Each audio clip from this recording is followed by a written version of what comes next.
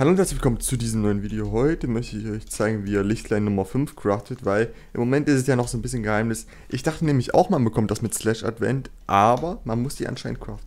Und zwar braucht man dazu Lichtlein Nummer 1 Köpfchen. Warte, wir nehmen uns mal hier einen raus. Man braucht Lichtlein Nummer 2, Leute.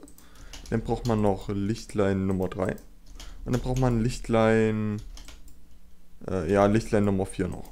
So, ihr habt jetzt diese vier Köpfe, wie ihr seht schon. Mit Slash Craft und dann bam, bam, bam, bam. Kriegt ihr diesen Adventskopf? Ich mache das jetzt mal nicht, Leute, weil ich habe schon ähm, 10 Stück davon gecraftet. Ich wollte euch einfach nur ein ganz kurzes Tutorial dazu geben, wie ihr die craften könnt, damit ihr nicht denkt, äh, ja, ich weiß nicht, wie ihr das machen könnt und nicht irgendeinen bezahlen müsst mit euch, der sagt für 5k.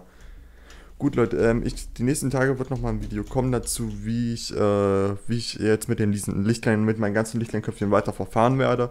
Und ähm, ich würde euch sagen, wenn euch dieses kleine Tutorial gefallen hat, gerne ein Abo, Like da lassen und dann bis zum nächsten Mal. Ciao.